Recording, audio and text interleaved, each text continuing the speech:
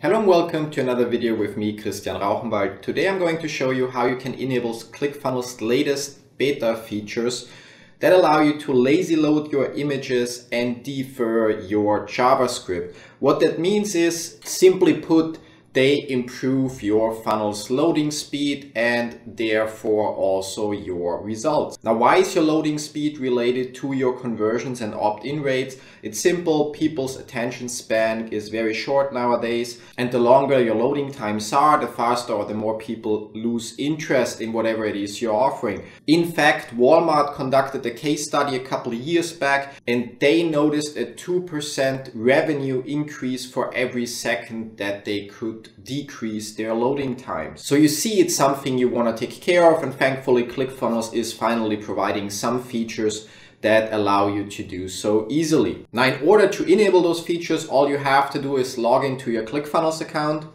And once you're there, go to your account settings, scroll all the way down, expand the available beta features section and simply enable those two beta scripts at the bottom, can use image lazy loading and can use async JavaScript. Now it may take a few minutes before those features are active and you should make sure to test your funnels after that, especially if you're using custom code in your funnels, because if your code relies on certain JavaScript libraries, it may not work anymore properly.